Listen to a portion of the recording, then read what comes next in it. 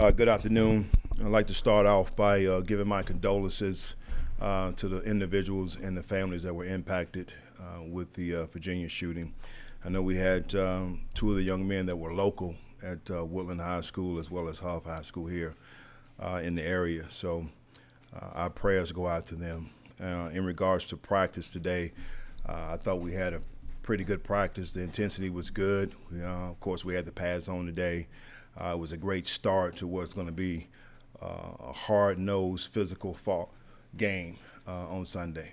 And with that, I take your questions.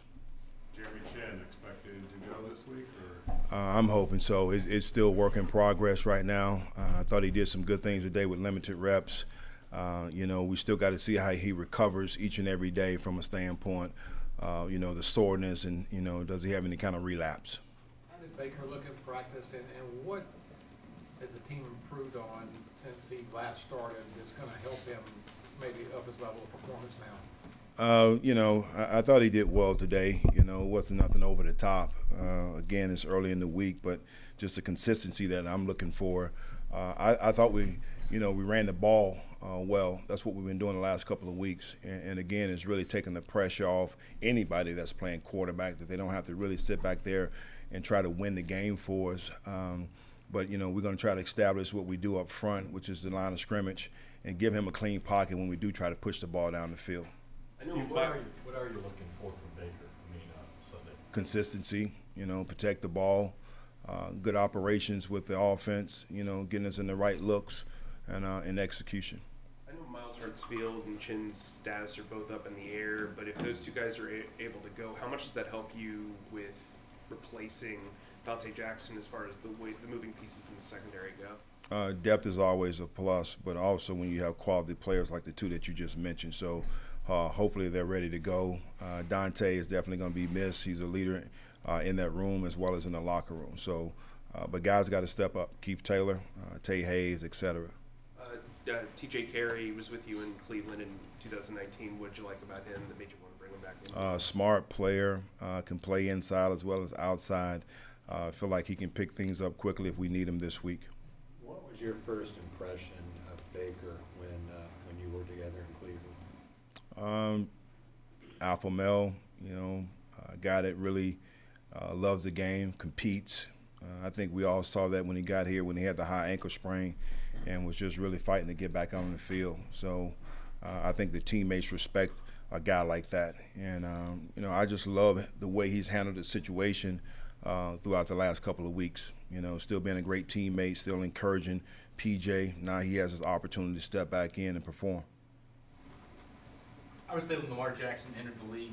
He was, you know, one of the most exciting players coming out of college. I think a lot of people still view that about him. But how has he evolved, in your opinion, as a quarterback? I think now in year five for Lamar. I think he's gotten comfortable in, the system. Um, you know, Greg uh, Roman has been there for a while, so uh, they work well together, um, and you can see he's just dynamic. You know, when he gets the ball in his hand. So, uh, and he plays he plays with a lot of confidence. You know, he's talking about a guy that came off of being the uh, league's MVP. So uh, he's definitely a weapon. The Ravens have the I think the number three rush defense in the league. You guys have obviously been a pretty ground and pound team. Do you like the challenge of facing a team that's that's a top tier unit? On defense when you when you have an offensive strength like this? Oh, they're they're a good defense, and I, I don't really try to look at it from a, a standpoint of challenge. Uh, they do some great things. When you talk about their defense, uh, they've been in that system for a while. You know, I know the coordinator Macdonald's coming back, but he's been in that family. Uh, so they do a great job just with their different multiple looks up front, the different blitz schemes that they create. Uh, so you know, we try to keep the focus. I try to make sure the focus stays on us and the things that we got to do.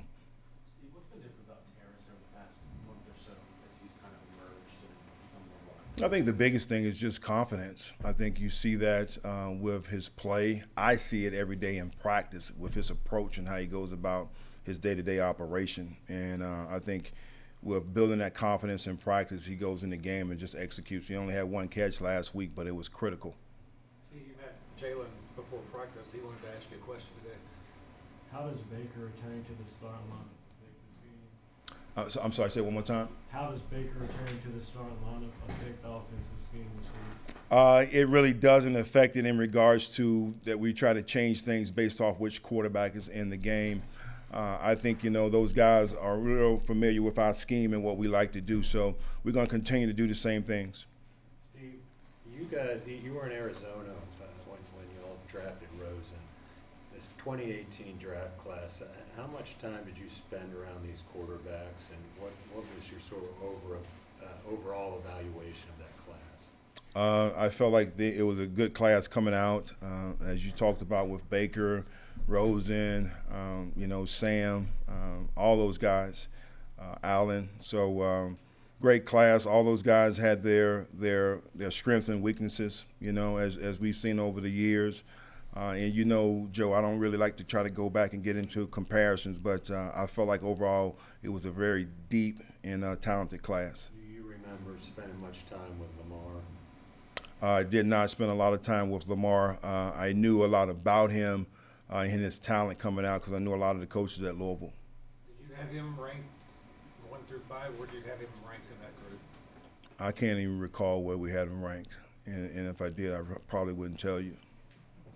When you're playing a team that's coming off a bye, is there anything that you do, since they have extra time to watch you, to kind of throw a wrinkle in here or there, change anything, or no? No, again, I try to keep the focus on us. Is is just every week you're going to evolve a little bit based off the different schemes that you're uh, faced with. So.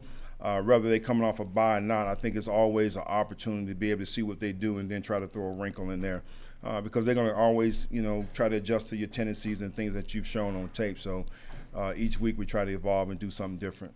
There, there had been some concern before the season that uh, Sam Franklin might be on the verge of not making the roster. Yet here he is, special teams, leading the team in tackles. How have you? What have you noticed from his development of a player? You know, at the start of the season to now. Who, who said that he wasn't going to be on the roster? Where would the speculation come from? Just various news reports that sort of said he was on the bubble. Oh. I know obviously they don't know much. I'm just, I'm just, I'm just the middleman. Okay, I got you. Uh, Sam has done a tremendous job, um, and I emphasize and talk all the time about special teams is not an inconvenience. Uh, it's a major part of what we do, and I just mentioned it today how I love the way he's embraced his role. He wants to play more uh, at this eighth position. Uh, all guys do, but uh, his role on special teams is a critical part of our success. So um, I think he's really put himself in lines as really trying to be considered as one of the Pro Bowl players this year, the way he's played. He's one of your Pro Bowl. He's your Pro Bowl rep for special teams, and normally that's an internal coaching nomination. When you talk to maybe Chris about this or, or Bruce or whatever, wh- why was it? Why was he the guy?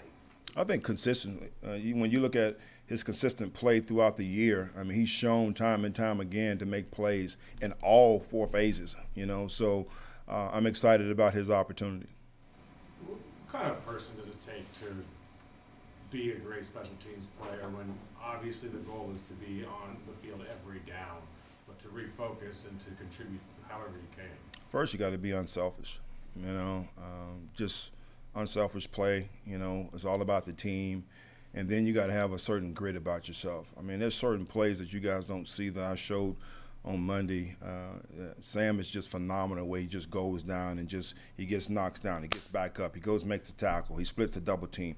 You know, they can't you know hold him on the outside. So uh, just being relentless. Steve, having a, when they have a tight end like Mark Andrews, one of the better ones in the league, change anything, how you do, you do defensively? When No, you better know where he is at all times. You know, I know he's been out uh, for a while. I assume that he'll be back this week, particularly coming off a bye. Uh, but you're right; he's one of the top guys in the league. Um, he's good in line. Uh, they split him out uh, from a standpoint of as a true receiver, so uh, he's definitely a weapon in what they do offensively. With that said, how difficult is it to play man coverage when you have Lamar behind behind center? Uh, it depends on if you have a spy on them as well. So you just, you know, it's different ways you can do certain things. But I don't think that has to limit us to saying that we, we're not going to play man to man against those guys. I think you got to pick and choose uh, your opportunities and how you uh, go about it. But, uh, you know, we're going to mix things up. You know, uh, they create an extra element with him running the ball. I always said that, you know, from a standpoint of extra gap. So we got to be sound in our, our reads, got to be disciplined in the things that we're doing up front. Steve, on Monday you mentioned how long it's been since Sam has gotten regular season reps action. How can you get him some of those opportunities without outright starting him?